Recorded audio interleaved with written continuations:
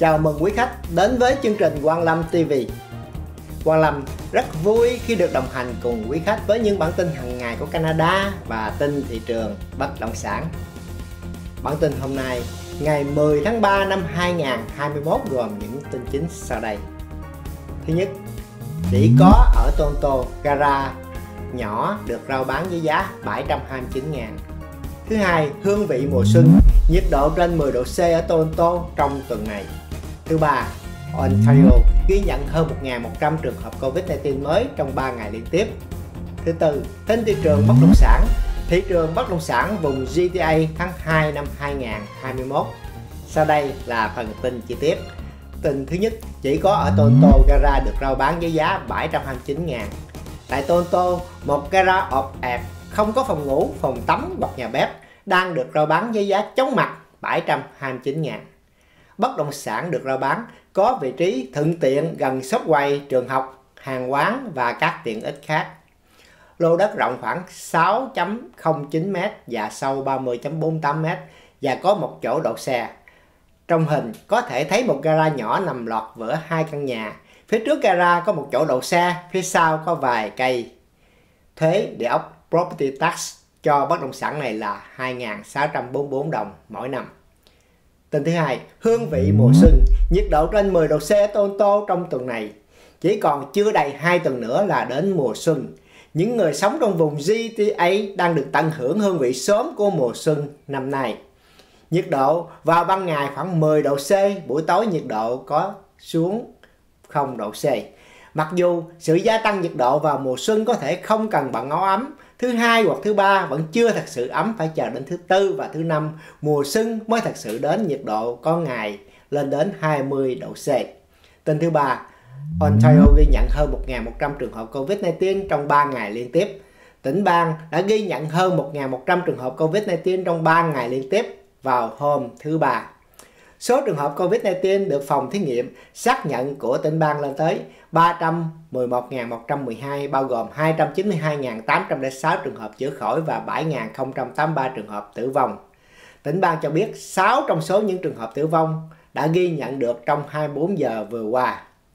Các phòng thí nghiệm trên khắp tỉnh bang đã thực hiện 33.264 COVID test ngày hôm trước với tỷ lệ nhiễm là 3.7%.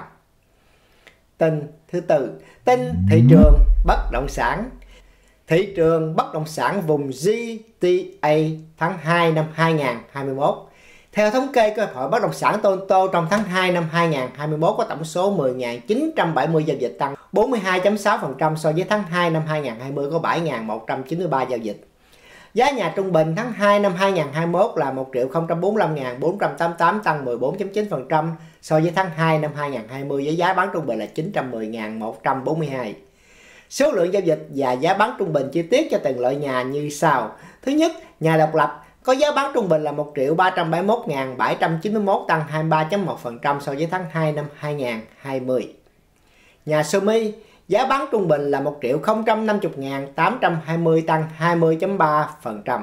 Cái đến là thầu hào có giá bán trung bình là 858.025 tăng 17.3%. Cuối cùng là condo apartment có giá bán trung bình là 642.346 giảm 3.7% so với tháng 2 năm 2020. Trong tổng số 10.970 giao dịch bất động sản trong tháng 2 năm 2020, khu vực Toronto dẫn đầu với 3.741 giao dịch với giá bán trung bình là 995.201. Khu vực Toronto West có 931 giao dịch với giá bán trung bình là 926.116. Khu vực Toronto Central có 1.981 giao dịch với giá bán trung bình là 1 triệu 037.685. Khu vực Toronto East có 829 giao dịch với giá bán trung bình là 971.262. Kế đến là khu vực Peel với 2.270 giao dịch với giá bán trung bình là 1 triệu 023.552. Khu vực Brampton có 1.135 giao dịch với giá bán trung bình là 1 triệu 014.232. Khu vực Caledon có 114 giao dịch với giá bán trung bình là 1 triệu 398.858. Khu vực Mississauga có 1.021 giao dịch với giá bán trung bình là 992.008. Khu vực York cái 2023 giao dịch với giá bán của mình là 1 triệu 206.235.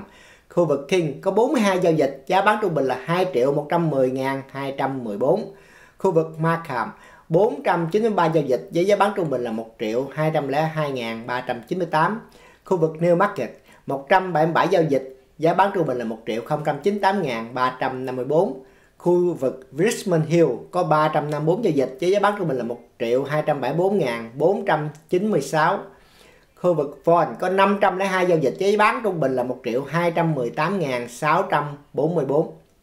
Horton với 1.127 giao dịch, giá bán trung bình là 1 triệu 212.303. Burlington 311 giao dịch, giá bán trung bình là 1 triệu 058.560.